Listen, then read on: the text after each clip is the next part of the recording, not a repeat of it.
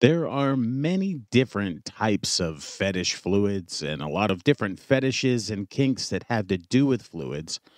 But a, uh, a really common one that uh, sometimes people don't think of as being a fluid necessarily, but it's blood play. Hematolagnia is an interest in using blood in sexual play. And I may have butchered that word. I apologize. For some, the intimate connection between blood and intercourse is very sexually stirring. The smell, sight, and texture of blood may be arousing too. Uh, your blood is made up of liquid and solids. The liquid part, called plasma, is made of water, salts, and protein. And over half of your blood is plasma, and the solid part of your blood contains red blood cells, white blood cells, and platelets. I am Primal Piggy. You can find me on Facebook at The Primal Piggy, all one word. I'm also the admin, or one of the admins, of a rather large Facebook page called Whips, Chains, and Duct Tape. You can find that on Facebook at WCDT BDSM. Thank you for listening to another podcast of BDSM United. You can find us on the web at www.bdsmunited.com. Uh, and if you're listening on your favorite platform, be sure to leave a review uh, so that people can know what you do or don't like about our podcast. Uh, red blood cells deliver oxygen from your lungs to your tissues and organs, and white blood cells fight infection and are part of your immune system. Platelets help blood to clot when you have a cut or a wound. Uh, blood cells constantly die, and your body makes new ones. Uh, bone marrow, the spongy material inside your bones, makes new blood cells. Uh, there are numerous fetishes that deal with blood. Uh, most of them are considered edge play. Um, that those are BDSM activities that are considered especially risky or on the edge of what might be considered safe. The definition of edge play is really subjective and it can differ from scene to scene and from individual to individual. So, some people may uh, call some things edge play where others may not. Uh, when playing with blood and the types of fetishes where blood's involved, we really encourage you to take extra care in being risk aware. We also want to give you the advice that you should seek a medical professional.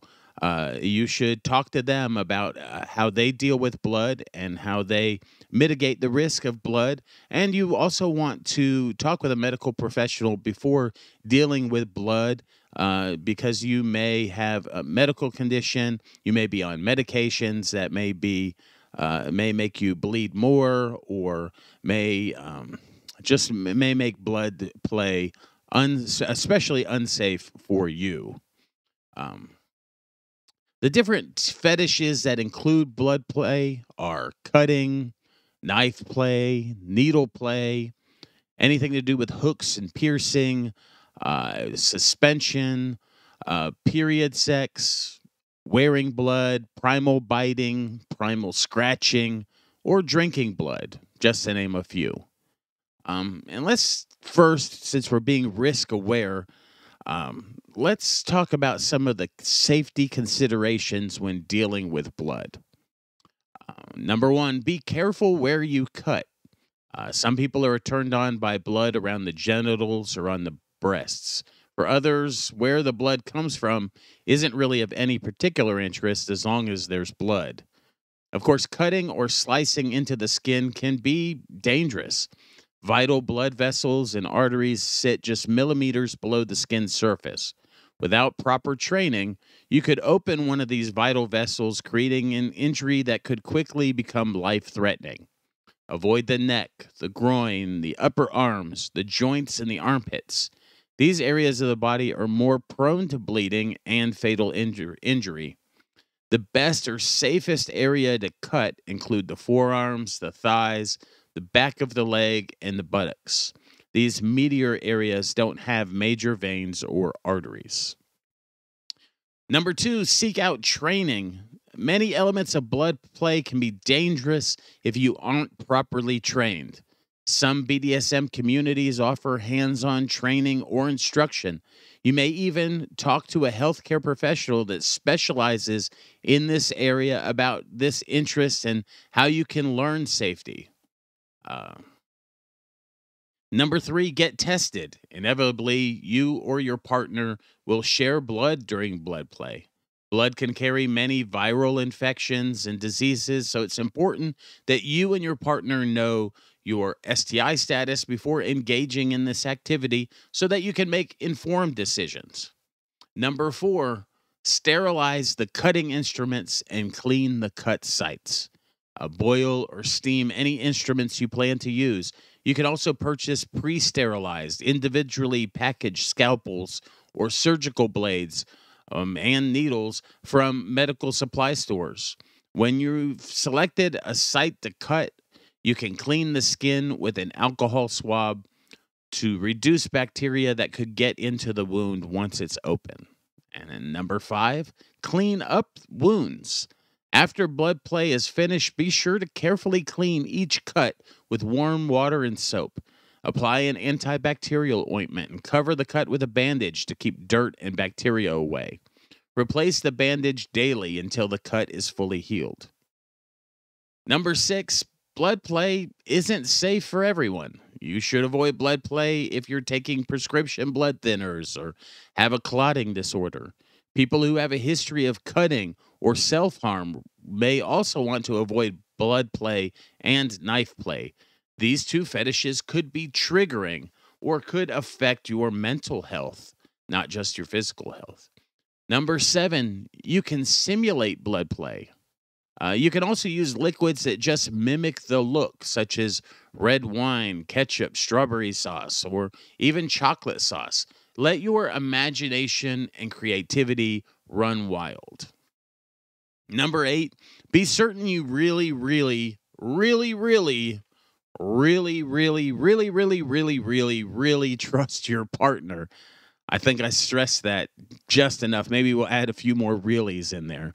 Make sure you trust your partner, be certain of it. Having a knife around inherently increases the risk for accidental cuts or inju- inju- injuries, even when purposeful cutting could be too deep. Uh, that could lead to heavy bleeding, which can be life threatening. The risk of infection is also high with cutting. Anytime the skin is open, purposeful or not, bacteria can find its way in. Blood also carries a number of infections and viruses itself. Swapping blood increases your risk for contracting any illness your partner has, and vice versa.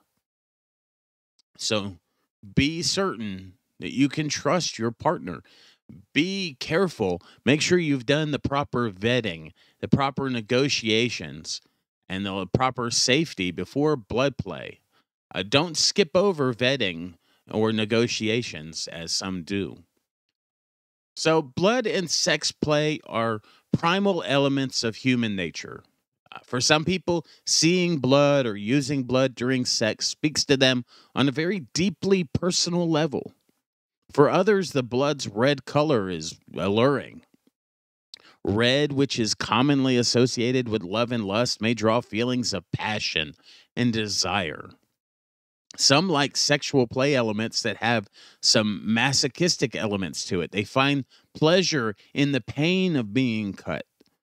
Uh, some people also find that putting an incredible amount of trust in a partner, such as uh, cutting or blood play, builds a deep and a meaningful connection.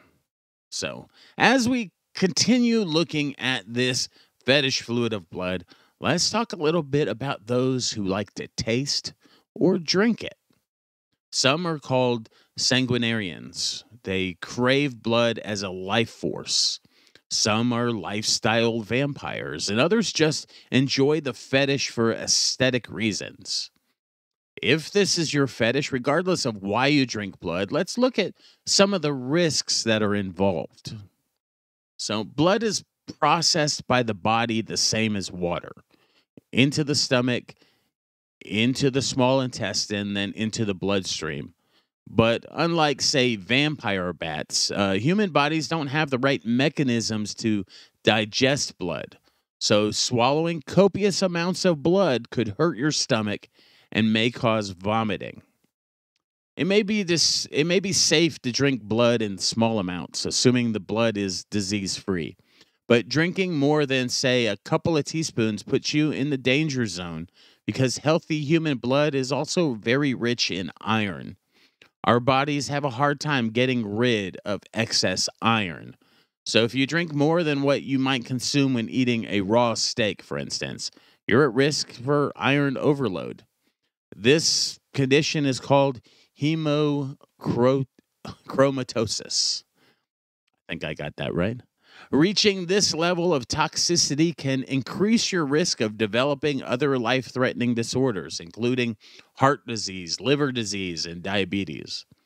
That um, that's because the excess iron is stored in your liver or in your heart or your pancreas and leading to all kinds of health problems. So, drinking animal blood is generally safe in small quantities as well uh, chowing down on a rare steak or a blood sausage link usually won't have any ill effects, but ingest, ingesting animal blood in large quantities could also be dangerous, especially if the blood wasn't collected in a hygienic way. Animal br- uh, blood is prone to bacterial growth, and that excess iron intake is also possible. Um, if your fetish is tasting or drinking the blood of a partner, Make sure you always obtain consent from your donor, along with their health records proving they don't have any illness, or at least that you're aware of any illness. Routine screening for STI is key to make sure everyone is healthy and safe and well informed. Um, don't literally take a bite out of yourself or your donor. Biting to that degree isn't safe or hygienic. Anything that you use to lacerate the skin should be sterilized using bo- boiling water. Your mouth must be clean if you plan to drink directly from the skin. This means a thorough blush, brushing, flossing, and mouthwash rinse. If you don't do this, you're more likely to spread bacteria or other pathogens, pathogens between your mouth and the wound. Afterward, afterwards, wash the laceration with antibacterial soap and warm water. Apply an antibiotic ointment and cover the area with a bandage and repeat daily with that bandage until it's healed. So, overall, blood is a really fun fetish for those who enjoy its look, maybe its coppery taste. Uh, as with other types of edge play, if blood play is a fetish you're interested in or already enjoy, just be sure that you're risk aware. We always like that motto of RACK, risk aware, consensual kink. Or it's risk aware because you're aware of the risks that are involved and you eh, take into account the safety of not just the tools involved, but also the techniques involved. And it's consensual. Consent is a hallmark of BDSM. It, it uh, it is fries. It's freely given. It's reversible. Uh, it's informed. Consent is enthusiastic, and consent is specific. So make sure you specifically get consent to do blood play. Just because you have consent to do other fetishes may not be a blood may be a boundary and or a limit whether soft or hard, of the person involved. And make sure it's a kink. Make sure you have fun. Make sure it's going to be fun for everyone involved and fun for those who are present but not involved in the scene itself. That's what it means to be RACK, to be risk aware, consensual kink. You've been listening to another episode of BDSM United. I'm Primal Piggy. You can follow me on Facebook at The Primal Piggy or at Whips, Chains, and Duct Tape at WCDT BDSM, also on Facebook. You can find us on the web at www.bdsmunited.com. Uh, be sure you check out our BDSM education group. Some of these educational materials in my notes today come from things that we've posted there on uh, BDSM education group. It's about 1,200 people, uh, and they're all learning in a private, safe, spa- safe space. They're all learning uh, about how to incorporate kink and how to incorporate power exchange uh, into their daily lives. Thanks for listening.